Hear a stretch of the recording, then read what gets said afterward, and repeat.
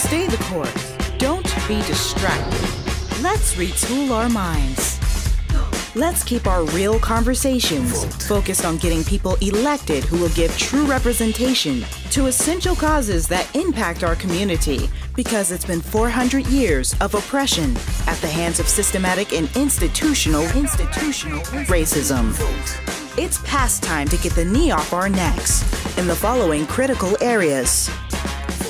Economics, minimum wage law, equal pay for all under the law, healthcare, access to healthcare for all and protecting affordable healthcare.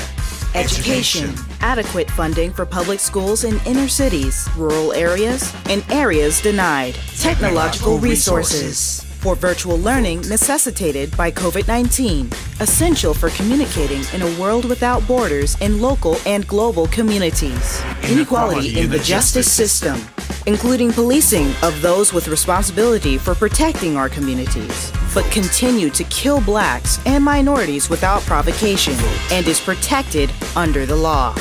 Childcare, affordable for all. Environment, fight for clean energy to reduce dependency on fossil fuels and combating other threats to our planet.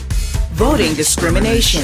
Enforce policies that protect citizens from barriers created by public officials at all levels to discourage voters from exercising their constitutional right to vote. Now, what you gonna do? Vote. Vote. Vote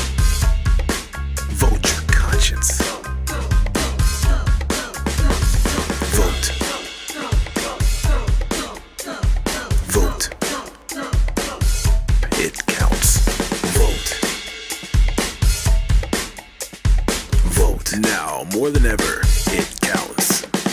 Vote.